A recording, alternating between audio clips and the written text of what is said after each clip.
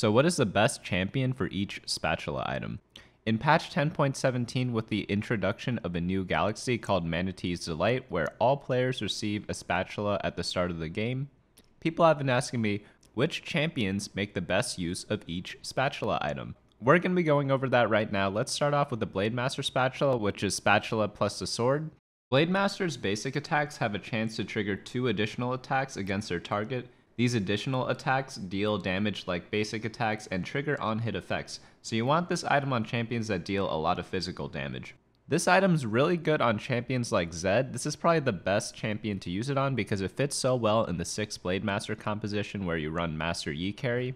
Zed just becomes as powerful as the Master Yi if he gets to 3 stars, and he pretty much just shreds through anything in the back line. The next two champions that I recommended on, it's good on them, but it's nowhere close as it is good on Zed. These two champions are Vayne and Jinx. So if you're running Rebels, you're running two Blade Masters already in Master Yi and Yasuo. So adding in like a third Blade Master with Jinx, it's not a bad idea.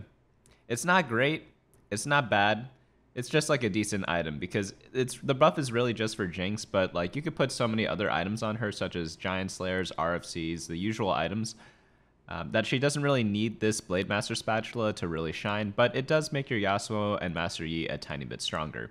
In Cybernetics, Blade Master spatula works really well on Vayne. I wouldn't say it's one of her best items, I personally like having Giant Slayers, Last Whisper, Infinity Edges on Vayne. But if you have an extra spatula, if you're forced to make this item, go ahead and put this item on Vayne. It's not bad at all. Personally, when I play Cybernetics, I like to save my spatula for making Infiltrator spatula on Irelia, which we'll get into later.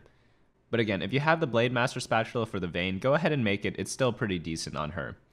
Next up, we have the Infiltrator spatula. Infiltrators have the ability at the start of the round, they jump to the enemy's back line, and infiltrators gain attack speed for 6 seconds at the start of combat and refreshes on takedown, and this bonus changes based on how many infiltrators that you have. So the best champion that uses this is Irelia, like we just talked about, and this is because similar to the way Zed works, um, Irelia just jumps to the back line, kills everything, so that's why Infiltrator Spatula is so good on her.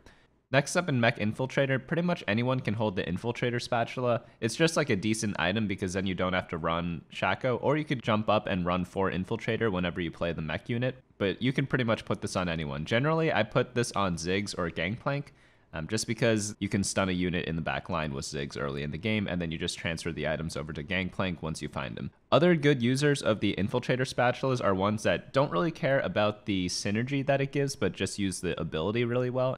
And these champions are Jace, Neeko, and Wukong. Pretty much all these tanky melee units with like a bunch of area of effect abilities, they're really good with the Infiltrator Spatula because they jump to the bag and either do a lot of damage or do a lot of CC to people's backline.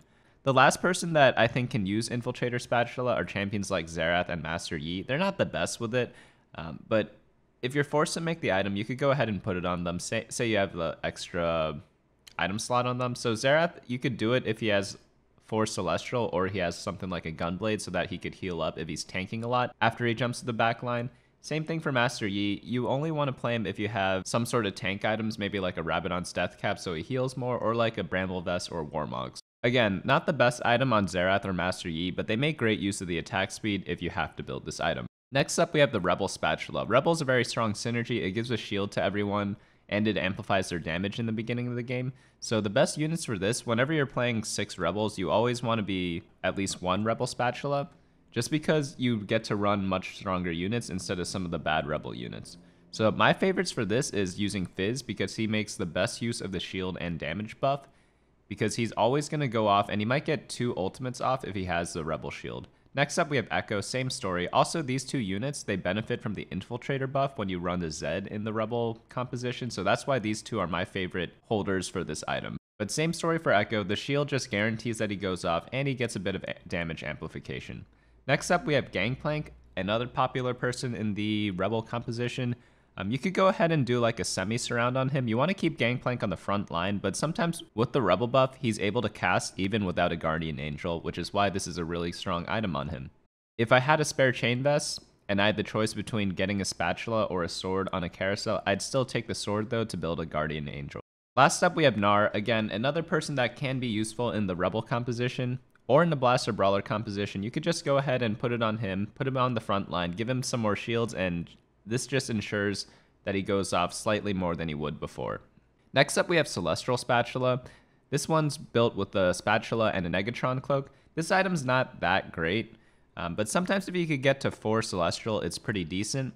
And there isn't really any good user for this item because the Celestial Spatula doesn't actually give any bonus to the individual unit apart from the magic resistance, so generally I just put this unit on any tank in the front line who needs it. Next up we have the Battlecast Spatula, which is a spatula and rod item. So generally, like even though this spatula gives a trait benefit, which is Battlecast champions upon dealing or taking 10 instances of damage, heal if below half health or deal magic damage to the nearest enemy if above half health. And this amount changes based on how many battle casts you have. It is a great bonus, but you really just build battle cast spatula to reach the next battle cast threshold, whether it be like six battle casts or eight battle casts. Um, so the unit you put this on really doesn't matter because your item holder, which like gets all these battlecast procs off, is mainly Kog'Maw. So you're really just building the spatula item to buff the Kog'Maw, not necessarily the unit you put on the field.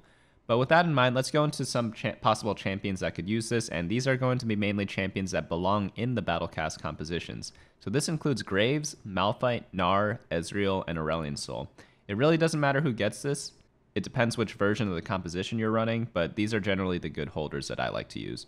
Next up, we have the Star Guardian Spatula, which is the spatula plus tears. Star Guardian spellcasts grant mana to other Star Guardians spread among them, and this is 15 mana at 3 Star Guardian, 25 at 6, and 60 at 9 Star Guardian. So you really want to put this on a champion who likes to cast a lot and hopefully pretty often. So my favorite user of this is Viktor. He's probably the most common user of the Star Guardian spatula item just because he's a sorcerer and Star Guardians are normally played in sorcerer compositions. So Viktor's the most obvious one that comes to mind. Really strong with it, probably one of the better items on him if you don't have other mana items instead. And it's a really nice way to get to 6 Star Guardian so you don't have to run some of the bad units. Another person who's really good with the Star Guardian spatula is Aurelion Sol. He casts a lot, so he's going to be granting a lot of mana to all your other Star Guardians and really just activate your whole team. This makes it so Zoe, Neeko, and Janna get a lot more crowd control off, and it makes it so that champions like Syndra, Ahri, and Soraka also get their cast more often to either deal damage or heal your team. The next two champions aren't going to make too much sense, but they are very good with the Star Guardian spatula, and this is Jhin and Jinx.